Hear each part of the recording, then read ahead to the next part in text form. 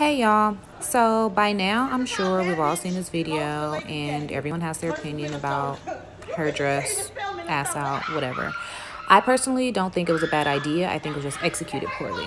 So I went to Instagram, gave my opinion, what she could have changed to make it better. Then I asked if I should just recreate it so you can get a visual on what she should have done. 92% of my followers said yeah. So here we go.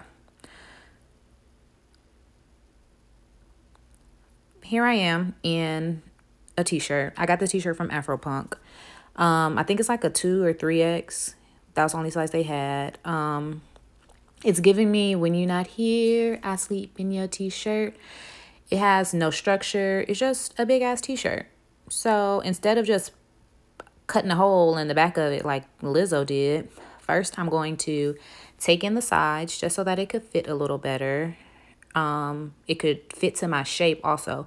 Because us thicker girls we can't just throw a freaking big ass shirt on. We gonna look like a fucking beanbag and we don't want to be shaped like a beanbag so just give it some shape a little definition in the waist.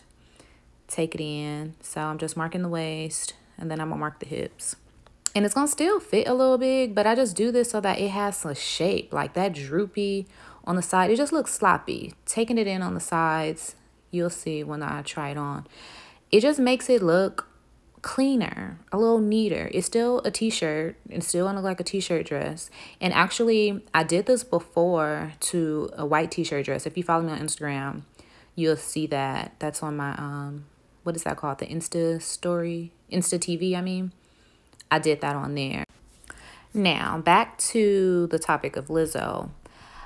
I, how can I say this? I don't know. My opinion, I guess, is different because I'm all about doing the most and being extra and being inappropriate. So I, I liked it. I just felt like it was styled horribly. Like she just cut the hole out in the back. Like I don't understand what that was about. Like it could have right idea, just horrible execution. I know I keep saying that, but I can't stress it enough because once you see how I'm about to style this and how I'm about to cut my ass out, like it could have been done really, really cute. It still would have been too much for some people because everybody has a freaking opinion. But hey, whatever. I follow this chick named Now in AO with like some underscores, and she's a super thick girl, and she's super bomb. Like, and she dressed sexy as fuck. Like, Lizzo needs to hook up with her, have her to be her stylist, so she could be popping out here. So see, I took it in, and just just taking it in on the sides makes it look that much cleaner. Did you guys hear my snap? So now I'm about to just cut a U out in the back. Instead of just cutting a hole, I'm gonna cut I'm gonna like crop it in the back. So it's gonna kind of look like an apron because that's just better than a freaking hole. Like that was crazy. So I had marked it while I had it on just so I could see how high I wanted the cut to be.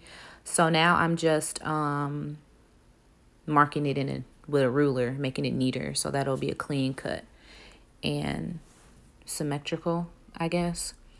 And since I don't, I can't just make it symmetrical, I'm gonna do half of it and then fold the shirt in half like so. Fold it in half and then I'm to cut it.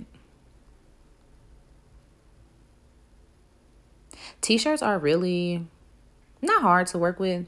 I mean, it's pretty easy, but the material just it sticks and it ripples up, I guess. So that's why you see me patting it because I'm trying to like keep it flat and even because it'll like get little it'll be stuck together but it'll have like little ripples in it so it's not flat like air bubbles kind of so boom cut it. See? Got a little crop action in the back easy peasy. So once i cropped it though it loosened it up in the waist and I don't really feel like sewing it again. So I'm gonna just get these cute, um, like decorative, um, what are they called? Like safety pins. And I'm gonna add them to the lower back. It's gonna kind of look like a corset, I guess, back there. Hey, I liked it. It's really risque.